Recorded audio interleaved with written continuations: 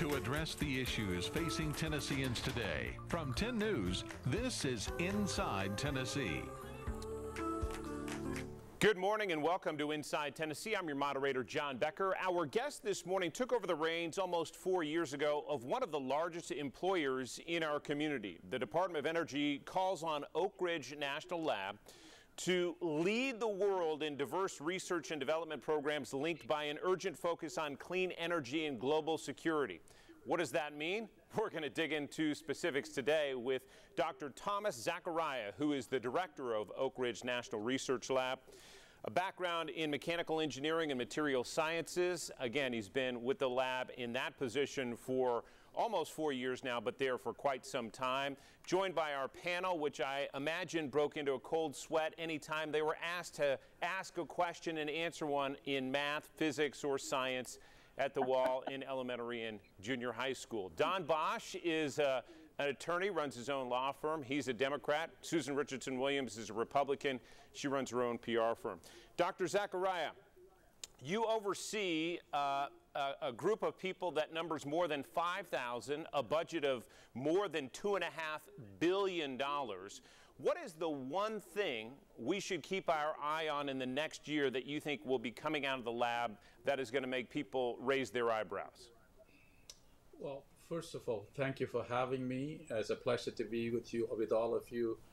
The the well, the one thing that we have our eyes laser focused on is delivering on the exascale computing platform, the Frontier, which we hope to deploy um, starting in June, July timeframe, and when completely deployed towards the end of the year, will be the fastest computer in the world.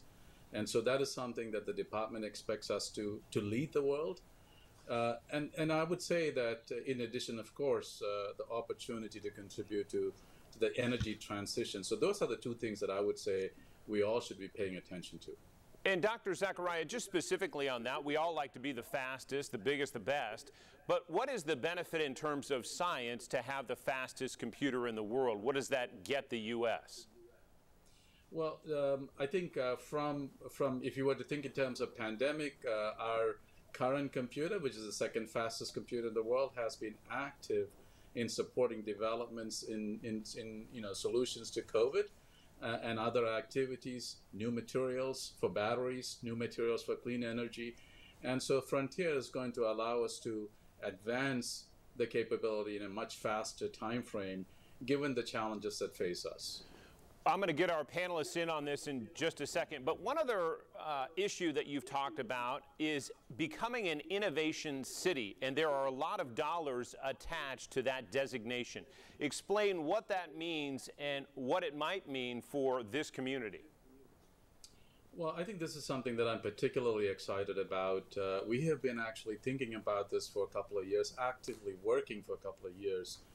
Uh, the idea of place-based innovation is something top of mind, and and so I've you know I've been in this community. I've, I've been be- I've benefited from this community for the last thirty plus years, uh, working here at the laboratory, and I've always been intrigued by the fact that here is our city where the University of Tennessee coexists with TVA and Oak Ridge National Laboratory in Whitewell, uh, plus a number of innovative companies that have come out of our, our city and yet we have not broken out into this leading innovation cities.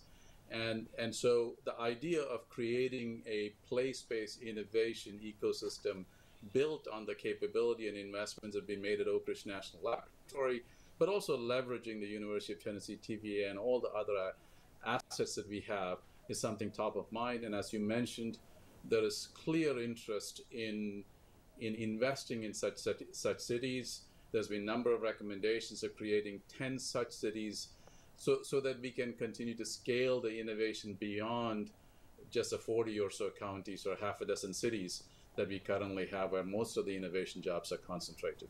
Susan? Yeah, Dr. Zacharia, one of those uh, joint ventures between the University of Tennessee and ORNL is the newly formed Oak Ridge Institute at UT. Could you talk about that and what do you expect to come from that uh, venture? Well, so one of the things that I, uh, you know, we have heard all the, you know, with the with the current administration, we've heard about a comparison to New Deal, which created T- Tennessee Valley Authority, and then uh, also the Manhattan Project. I try to remind people during the Manhattan Project, we had about 70,000 people at Oak Ridge working, racing to to make the innovations that is necessary to win win the war.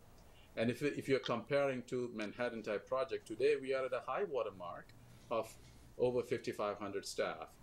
And if you compare to those kinds of uh, you know initiatives, you know we, even if you were to double uh, our the talented staff that we needed at Oak Ridge and other laboratories around the system, and even universities, we need to create a pipeline of next generation students in the industries of the future. And I think the Oak Ridge Institute at the University of Tennessee is a partnership between UT and ORNL to attract, train, and the next generation of innovators and scientists and faculty members who's going to help us achieve our goals.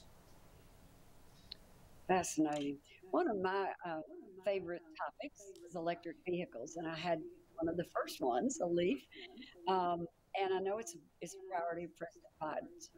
Um, are you all doing your? I know you're doing research on EVs. When when do you expect to see that become commonplace in our country? I think I think uh, certainly over the next decade, if you just look at just what the car automotive in, uh, industries have uh, have declared as their uh, plans for the next coming decade, five to ten years, it's very clear that we are going to move to an electric vehicle fleet. And the reason is very simple. Um, in addition to our own needs, uh, our companies have to compete globally. And because our companies, for them to be successful, not only do they have to sell to the American market, but also they have to sell globally. And globally, you know, the, the big populations, India, China, Europe, they all have policies that require uh, essentially electric vehicles, a significant penetration of electric, electric vehicles in their fleet. Secondly, the technology has advanced and progressed dramatically to where it is going to become much more commonplace. As you well know, the Volkswagen plant in, in Chattanooga is going to start producing electric vehicles. Almost all the American manufacturers have now a, a, number of uh, product lines that are fully electric vehicles. So I think it is in our future. I also was one of the early adopters of uh, a Nissan Leaf. And it's actually fascinating, even though it had only a range of about under 100 miles, we still put 15,000 miles on that car mm. just by you know driving to work uh, and then going to Farragut and doing our shopping and going home. So uh, today's cars have easily 200, 300, 400 miles range, and I think it is going to be very well part of our our fleet. Maybe we'll have initially an electric vehicle plus a gas just for long range type of uh, travel. Don Bosch will bring in the conversation when we take a quick break. Uh, we'll be back with Dr. Thomas Zacharia, the director of ORNL, right after this.